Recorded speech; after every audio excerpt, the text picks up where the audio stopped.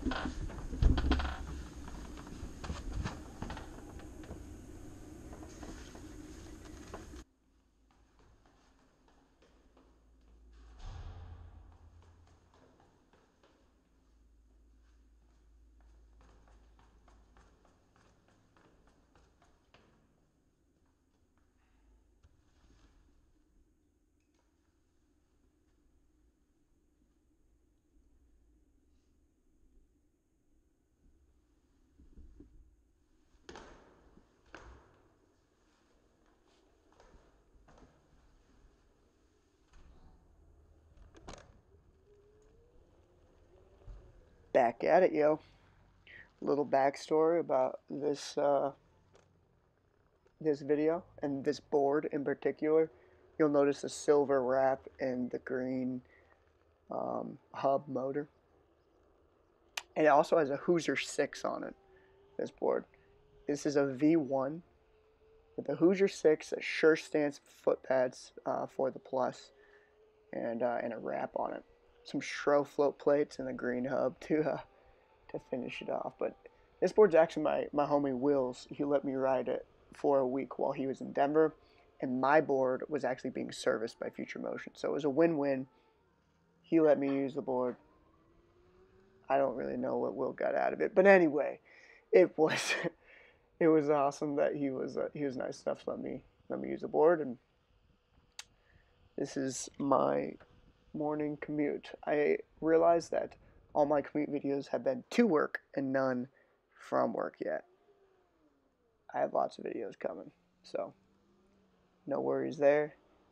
My Onewheel XR is also on the way, which is awesome. I'll be able to go really far every day.